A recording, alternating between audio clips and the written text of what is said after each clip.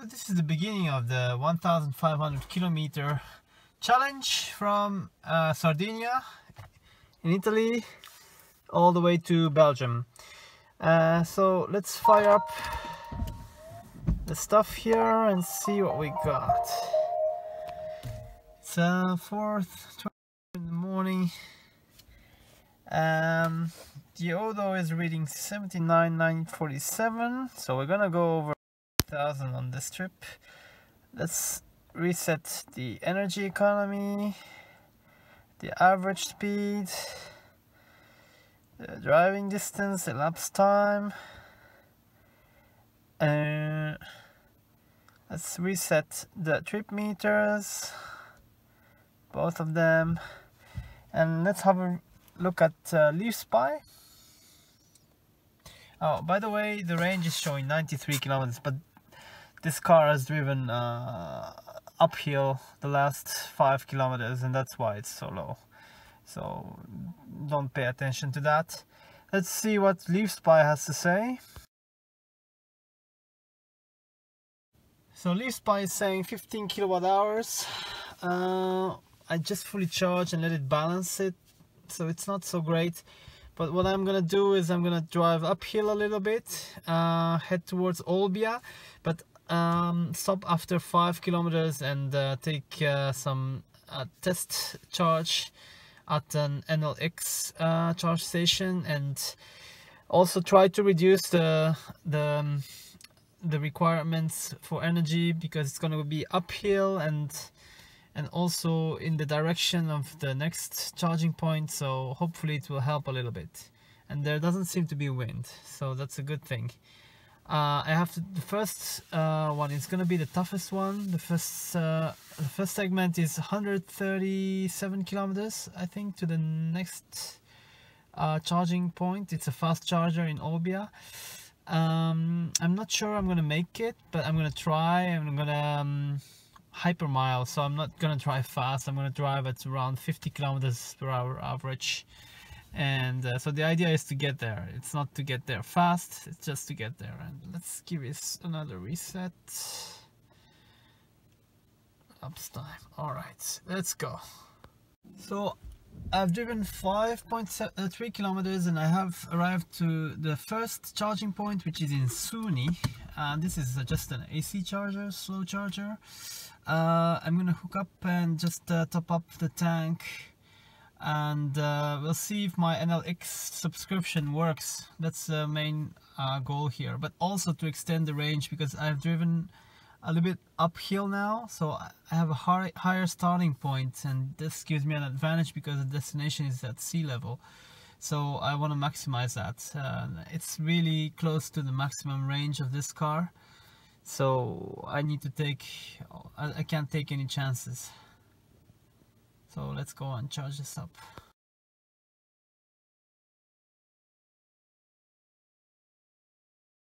So I don't know why it didn't work, but uh, it showed me you have to accept the terms and conditions and subscribe. But I was already subscribed and I already had accepted the terms and conditions. So I went into the menu and accepted the terms and conditions.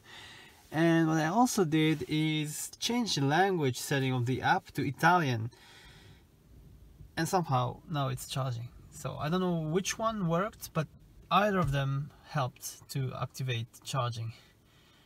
Ah this kind of stuff needs to be more straightforward but anyway it's charging now. So let's not complain. And it's a slow just slow charging so probably 15 minutes until it's fully charged. I'm gonna relax and uh, yeah just try to plan the rest of the trip right now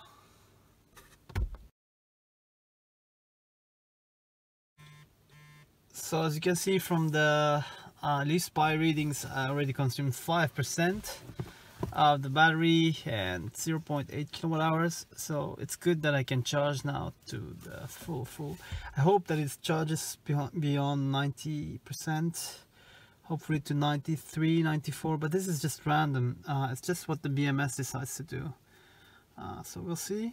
And so hopefully in less than half an hour I'll be ready let's 20 minutes. I have time so uh, I just want to make sure that I make it to my first destination because it's 140 kilometers almost. So uh, yeah I, I have no idea if I can make it. Normally I should be able to make it. I already I've already done this trip before uh, but there's just no security and it had rained and you can see the pavement is kind of damp and it's drying already so this half an hour is good. It'll allow the pavement to dry further. And dry pavement means more range so that's good. Anyway. Uh, it's starting to rain. This is not good. It's really not good. Hope it's it's not gonna be huge rain. It's very localized. But rain is not good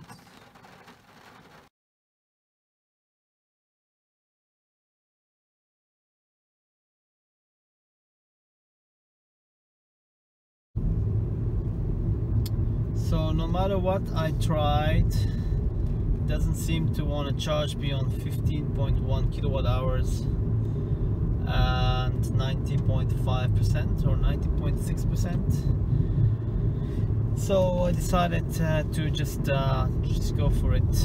We don't have I don't have so much time. My my boat is leaving in five hours and I want to get close to my boat and fully charged.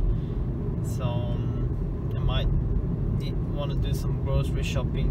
I want to buy a few things that I want to take with me. So yeah. Anyway I'm gonna um, put my cruise control on and set it to 60 and uh, try to maintain that speed. I don't think I need more than that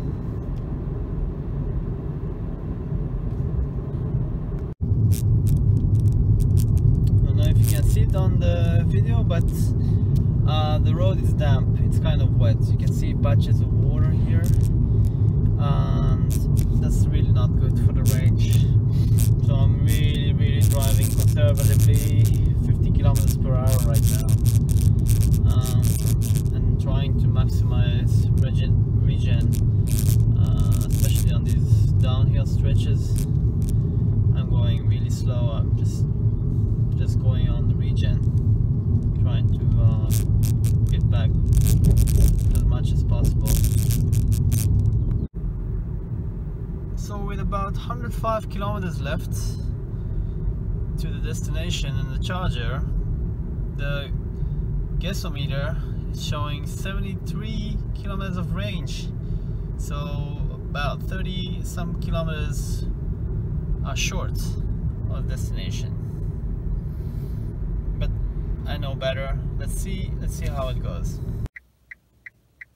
So guessometer showing 78 kilometers of range and Olbia is still 99. So now you see that we have reduced to, to about 21 kilometers shortage. But it should be fine. We'll see how it goes. It should be fine. So a quick update, having driven 100 kilometers from the start of the trip, uh, I still have 30 kilometers range showing, but I need to drive about 40 kilometers, so I'm short on range, but according to my calculations, it's fine. If I check LeafSpy, I have 6.5 kilowatt hours, and uh, it's uh, it's kind of downhill from here. Uh, not yet, but it's gonna get downhill and if you look at the consumption it's about 100 watt hours per kilometer which is very very low. It's excellent.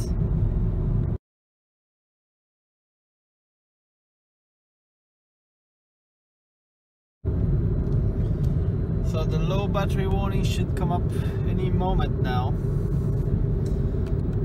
Um, because the battery is getting low but we are already in Olbia. There's the airport there.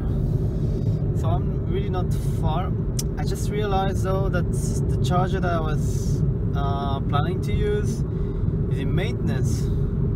So I need to drive to the next charger which is not far away. Low battery oh, charge. low battery charge. This means that I still have 4 kilowatt hours. I can make it to the next charger though so it'll be fine. But not happy about the charging maintenance. So this kind of stuff is uh, why you need to drive conservatively. And I drove 131 kilometers so far.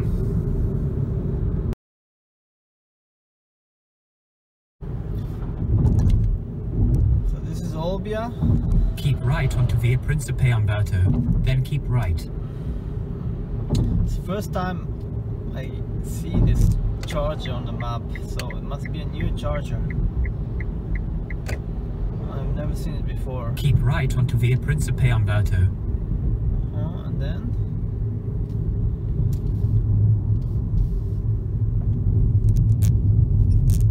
In 350 meters, arrive at Via Principe Umberto. so it must be this way. Yes. Exit roundabout onto Via Principe Umberto. In 300 meters, at the roundabout, take the fourth exit onto Viale Principe Umberto. I literally never seen this. This. So this must be a new charger because it's first time I see this thing here. It must be like like super new, crazy, super new, new, new. Yeah, I never seen this before. It's never popped up on the map. That thing looks new. Great. Let's have a charge. But before charging, let's look at the stats. So 135 kilometers driven, 130 since the last charge. So we started with 15 kilowatt hours, 15.1 I think it was, and yeah, it drove 130 kilometers and I think let's have a look at um, the stats but I think I have 3 kilowatt hours left so yeah it looks like it's correct. Uh, only burn like 90 watt hours per kilometer and let's look at the average speed. Oh 50.9 kilometers per hour average speed. So it's not bad at all. Amazed actually. Good job Leaf good job. Took us two hours and a half to drive. Yeah 135 kilometers. So 130 kilometers on 3 kilowatt hours. Um sorry on 12 kilowatt hours that's really good. Good stuff. So I've been able to start the charge and a quick update. So uh, actually Leaf Spy was showing me 3.5 kilowatt hours of capacity left. And I started with 15.1 so uh, it's actually 3.6 so it's about 11.5 kilowatt hours spent driving 130 kilometers which is astonishing uh, it's just nine, 90 watt hours per kilometer. Really at this speed at around 50 kilometers per hour average you can't beat the leaf. It doesn't burn anything. You can go forever. You can you can drive forever. Uh, so in theory um, and probably in practice too uh, with a full tank of um, 15 16 kilowatt hours I should be able to drive 100 uh, 80 kilometers at an average speed of 50 kilometers per hour. So quite impressed quite impressive. Yeah good job leaf good job.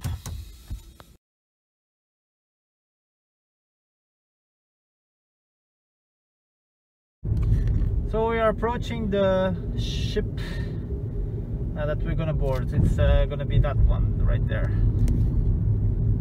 So let's see if we can get on board